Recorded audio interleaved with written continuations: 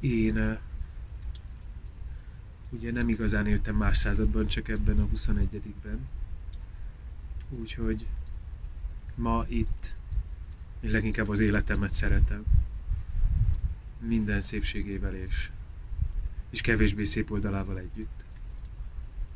Amit kevésbé szeretek, vagy amit érdeklődéssel figyelek, az az, hogy ahhoz képest, hogy ma áll a legtöbb információ a rendelkezésünkre a világról, mégis most vagyunk a legmanipulálhatóbbak. És valamiért ma lebegünk leginkább a felszínen.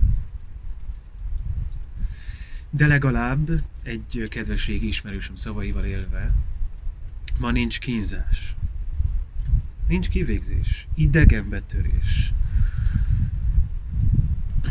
Csak sok szenvedés.